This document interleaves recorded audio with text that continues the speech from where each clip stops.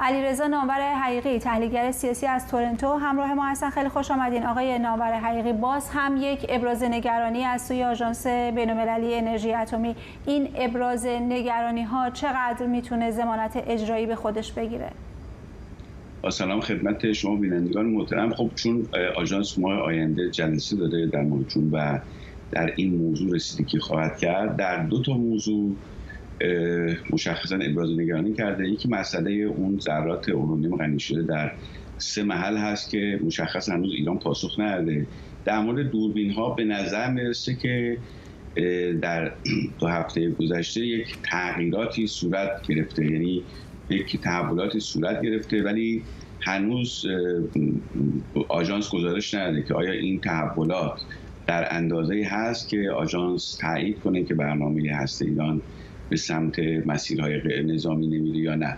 خب این موضوعی است که در آژانس در ماه آینده بررسی خواهد شد. طبیعتا عدم همکاری ایران به اندازه که آژانس بخواد می‌تونه موجب این باشه که قطعنامه از سوی شورای حکام صادر بشه. باید ببینیم که تا اجلاس جون چه اتفاقی از ایران انجام خواهد شد. در این حال این هست که اروپا، آمریکا و ایران و روسیه و چین هر کدام نگرانی های خودشون دارن و مسیرهای متفاوتی رو دنبال می‌کنن که خب همین پیچیده تر شدن اوضاع تبدیل شده. علت این است که توافق در مورد تبادل زندانیان در دو ماه گذشته عملا لغو شد.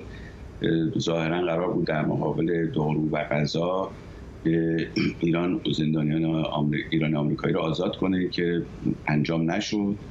و دوم اینی که اروپایی ها هم چون بیشترین ضرر رو اروپایی ها می‌بینن به خاطر هر اتفاقی بیفته در مسئله هسته ای نخستین چالشش متوجه اروپا خواهد شد چه به لحاظ تاثیراتی که رو امنیت اروپا می‌ذاره و چه تاثیراتی روی مسئله بحران سوخت و انرژی خواهد گذاشت. طبیعتا اونا دنبال اینن که یه توافق صورت بگیره. یا ایای برجام به صورت قبلی که خیلی دشواره یا اینی که در یه توافق صورت بگیره که بتونه حداقل تا چند ماه آینده یا تا سال آینده ایران و آمریکا رو در یه مدار مطمئنی از عدم تنش پیش ببره که هنوز خب اتفاق نیفتاده.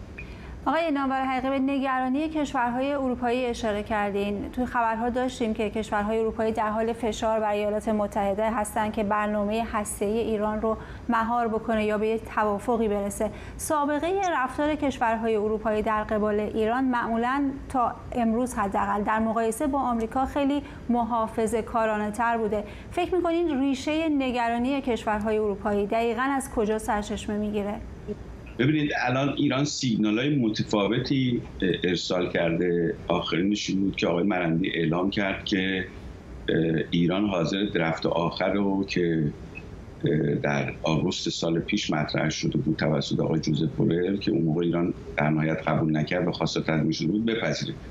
البته این آقای مرندی گفت و خب شما بعد می‌بینید آقای جلیلی که نماینده آقای خامنه‌ای در شورای ملی است اومد گفت برجام در حقیقت به پایان رسیده. سیگنال های متفاوتی داره میشه ولی اروپا مسئله کلیدیش این است که بتونه یه توافق حالا در حد اینی که بتونه تنش رو به نقطه جوش نرسونه انجام بده. این آزادی دو فرانسوی هم به نظر من پیام است برای اروپایی ها که ما آماده توافق بیشتر هستیم. و خب این چیزی است که روی آمریکا تاثیر می‌ذاره. دیروز آقای مایک هم که در سنای آمریکا صحبت کرد. عملا خب سیگنالی که داد اینه که برنامه هسته ایران بسیار خطرناکه ولی توضیح نداد که حالا این برنامه رو باید با دیپلماسی حل کنیم. آیا ایران آمریکا الان باید بیاد به سمت توافق یا آماده باشه برای درگیری؟ و این خب ابهام ایجاد کرد. چون صحبت آقای مایک میلی نشان دهنده ابعاد بسیار پیشرفته تر از اون چیزی بود که قبلا مطرح می‌کرد. یعنی شما گفت در حد چند ماه می‌تونن تا ایران تست کنه و این خب نشون دهنده این است که بالاخره آمریکا و اروپا باید راه حلی برای موضوع بیاندیشن. اون چیزی که مهم است این است که انتخابات ریاست جمهوری آمریکا تاثیرات مهمی الان گذاشته و اروپایی هم طبیعتا مسئلهش این است که دولت آقای بایدن خیلی این مسئله در اولویت قرار نداده. از طرفی چین و روسیه هم به گزارشی خود وال جورنال هفته پیش منتشر کرده بود خیلی تمایل ندارن این قرارداد احیا بشه به خصوص روسیه که فکر می‌کنه که هرچی این موضوع مسئله ایران به قول معروف افزایش پیدا کنه توجه از اوکراین کاهش پیدا می‌کنه و این خب ملاحظه است که اروپایی هم دارن اروپایی نمی‌خوان مسئله اوکراین بره از به حاشیه بره. بنابراین هم مسئله اوکراین هم مسئله تاثیراتی که می‌تونه این موضوع در امنیت اروپا بذاره باعث شده که اروپا الان بیشتر تمایل داشته موضوع حل بشه تو آمریکا. در این حال اینم هست که افزایش خطری که دیروز آقای مایتین اشاره کرد باید آمریکا مشخص کنه اگه می‌خواد دیپلماسی حل کنه با دیپلماسی چه راه حلی داره. به نظر می‌رسه ایران حتی پیشنهاد داده که حاضر مدت غروب آفتاب افزایش بده حتی اورانیوم رو کم کنه به جای 300 کیلو 200 کیلو بله. اما در ازاش اورانیوم ها رو در ایران بمونه اورانیوم غنی شده که تا حالا آمریکا این رو قبول نکرد